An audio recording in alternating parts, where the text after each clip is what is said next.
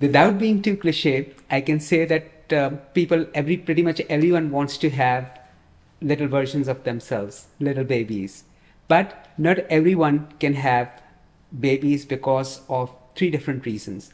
A, they are unable to produce reproductive cells. Men produce sperms and females produce eggs. So if there is a problem with the production of uh, reproductive cells, IVF will not be able to do too much.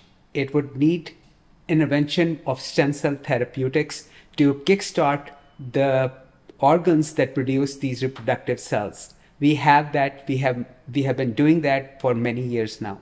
The second problem is that people have the reproductive cells, but they have trouble meeting. That's where the test tube babies come from, okay?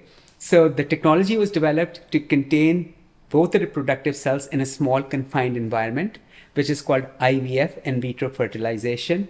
These two cells fuse and form, a, form an embryo, which can be later on transplanted into the mother. That's the third problem. Not all females have the ability to receive an embryo.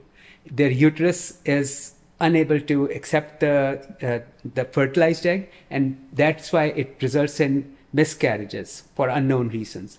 Stem cells can help in that area too. So, with stem cell therapy or other regenerative, uh, re- regenerative biology techniques, we can actually uh, improve the implantation probability. All these three expertise are under now are under one roof here at Njinsky.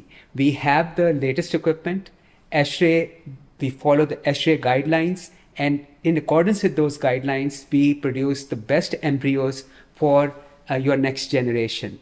So please come and explore these options with us, no matter what the cause of infertility is. Whatever the reason, we are here to help you, and we can, it's about 90% that we can help you in all these three different areas. But there is always that 10% that we can't.